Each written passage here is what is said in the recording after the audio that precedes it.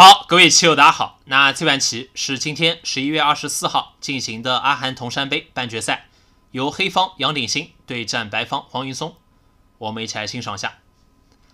开局双方都是新小目，然后黑棋点角走了一个定式，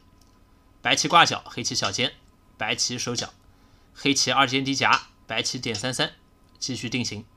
啊，开局都是常规的布局套路。白棋打入的时候，黑棋选择飞风，白棋再一飞，啊，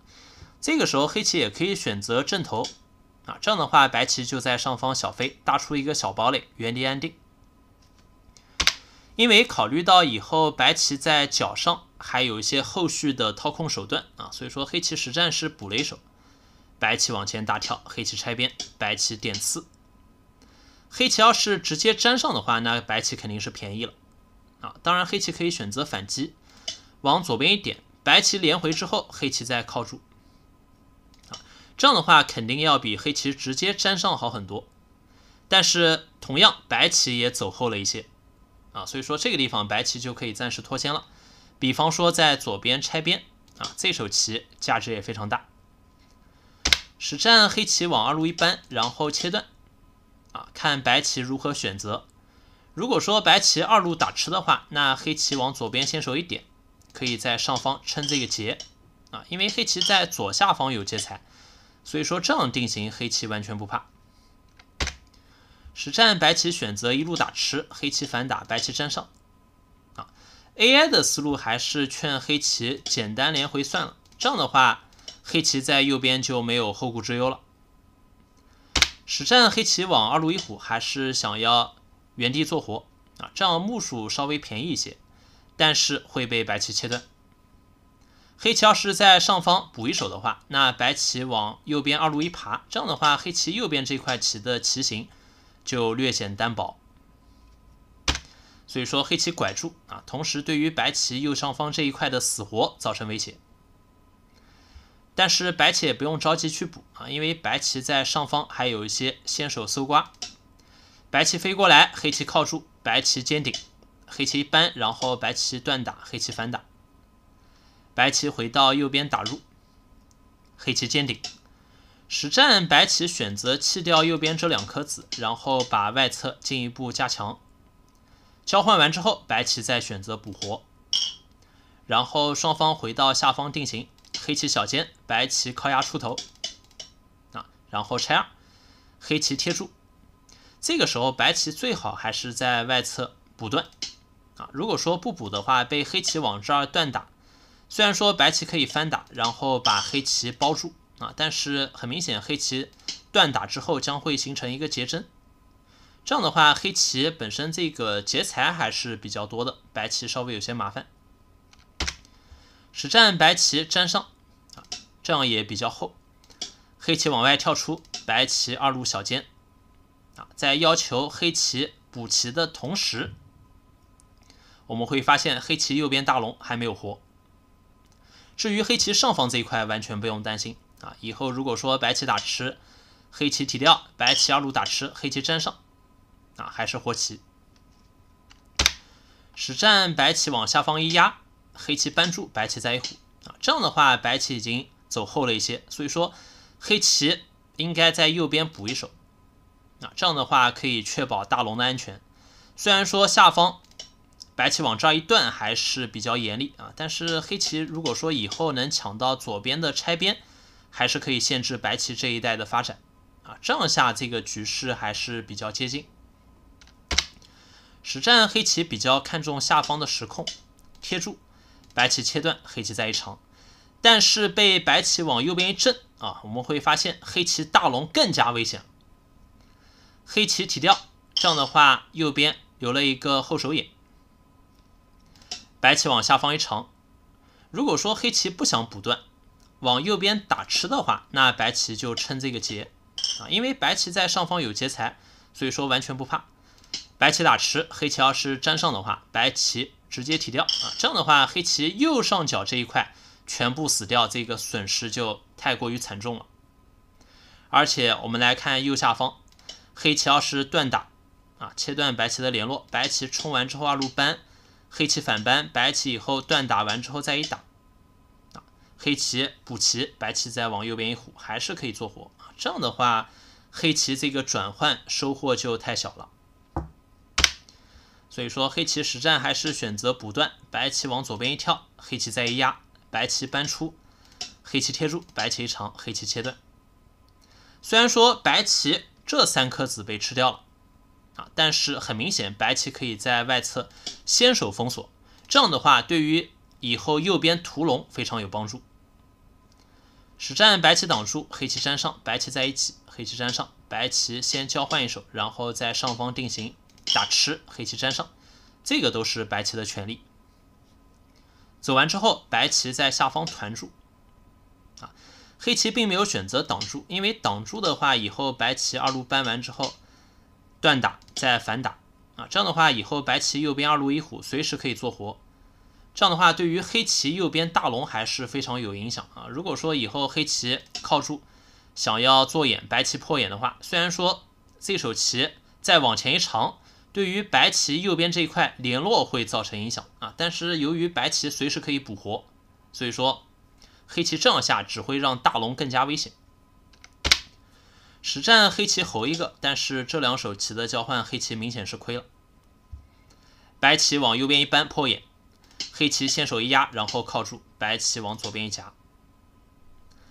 黑棋靠出啊。这个时候如果说白棋直接扳断的话，黑棋可以利用弃掉这三颗子，然后做活啊。不过这样定型，白棋已经非常满意了，不仅是目数收获很多，而且中间这一带铁厚啊，白棋在周围还有非常多的潜力。实战白棋更为凶狠。想要整体鲸吞黑棋大龙啊，所以说选择往左边一搬。黑棋如果说往上一长，那白棋冲一个挡住，黑棋粘上，白棋继续挡住，这样的话黑棋还是无法突围。实战黑棋连回，然后白棋往上方一长，黑棋往前一长，白棋粘上，黑棋往上方一跳，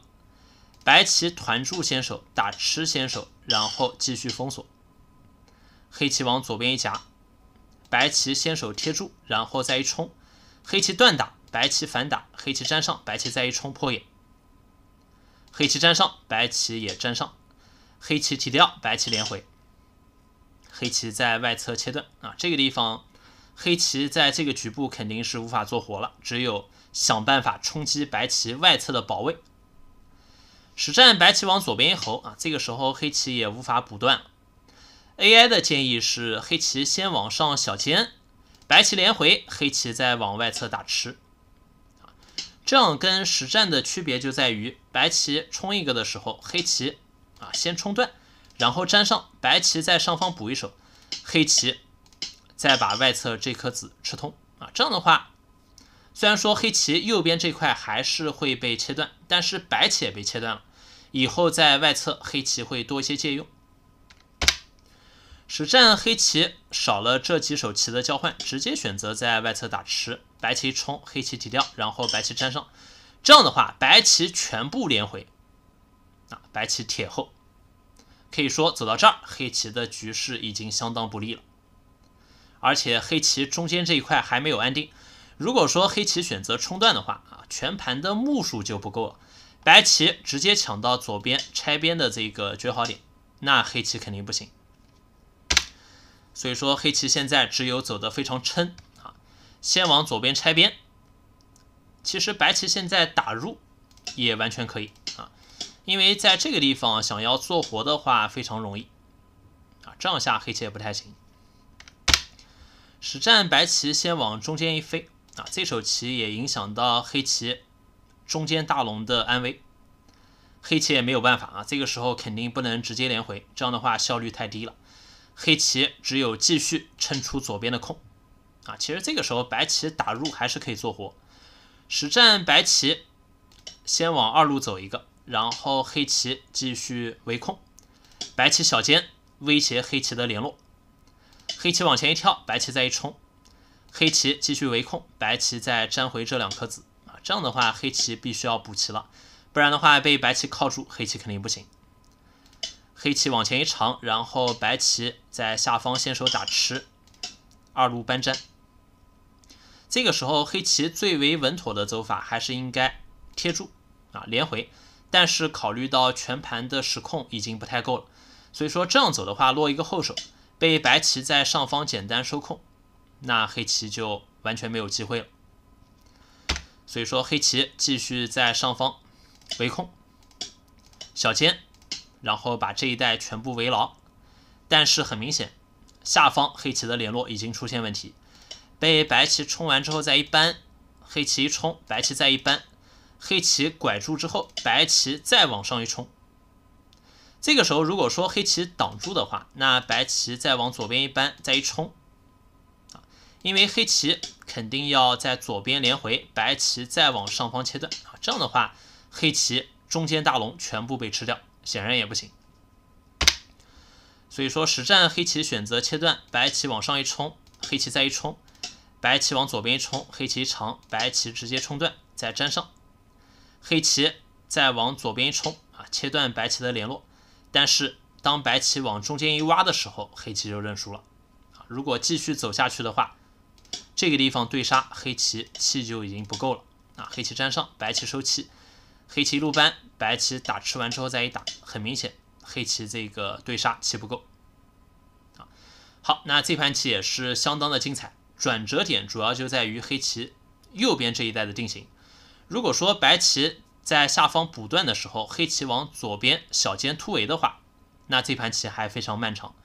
实战黑棋选择在下方围控，被白棋往右边一震，这样的话黑棋大龙就已经非常危险了。被白棋吃住右边这一块，黑棋全盘的时控就已经不够了。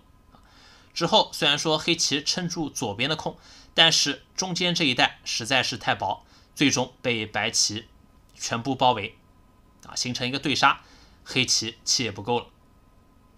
好，那这盘棋就给棋友们带来到这里，希望大家看得过瘾。如果喜欢我的视频，请棋友们给我点个赞，谢谢各位的支持。我们下期视频再见，拜拜。